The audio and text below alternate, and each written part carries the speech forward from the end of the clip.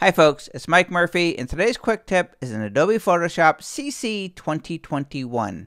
In this tutorial, I'm going to show you how to prevent Photoshop from appending the word copy to your file name whenever you're trying to save out a document such as a PSD file to a JPEG so you don't have to go into the file name and backspace out the word copy before you save. And the version of Photoshop that I'm using for this tutorial is 22.4.2.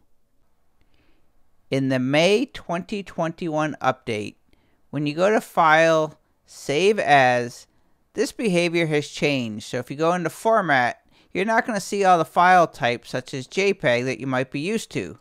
So in order to get the JPEG there, you have to go right here and click on Save a Copy.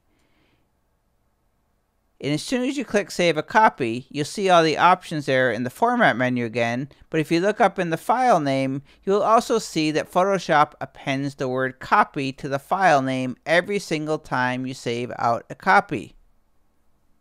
Well, after a June 2021 update, you can now prevent Photoshop from appending the word copy whenever you're saving a copy of a document.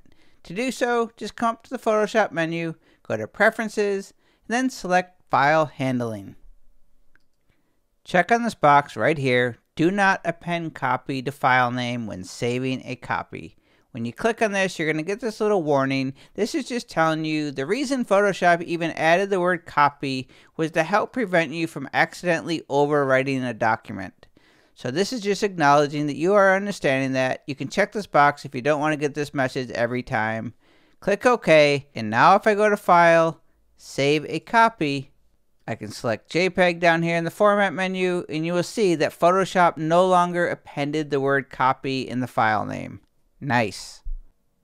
And that is your quick tip in Adobe Photoshop CC 2021. My name is Mike Murphy. Cheers.